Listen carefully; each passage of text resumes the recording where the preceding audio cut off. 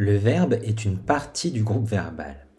Il représente soit l'action de la phrase, elle joue au foot, nous apprenons une nouvelle leçon, soit un état, il est grand, vous semblez perdu.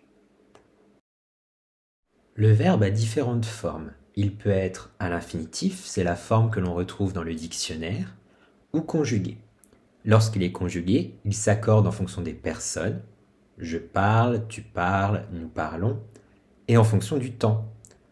Je marchais, je marche, je marcherai. On classe les verbes en fonction de la terminaison de leur infinitif. Les verbes du premier groupe se terminent par ER, sauf le verbe aller. Par exemple, on a manger, parler, chanter, jouer, etc. C'est le groupe le plus important.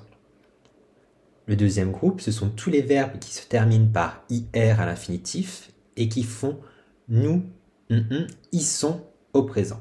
Par exemple, grandir, nous grandissons, fleurir, nous fleurissons, finir, nous finissons, choisir, nous choisissons. Enfin, le troisième groupe regroupe tous les autres verbes, avec par exemple aller, prendre, faire, dire, voir, etc.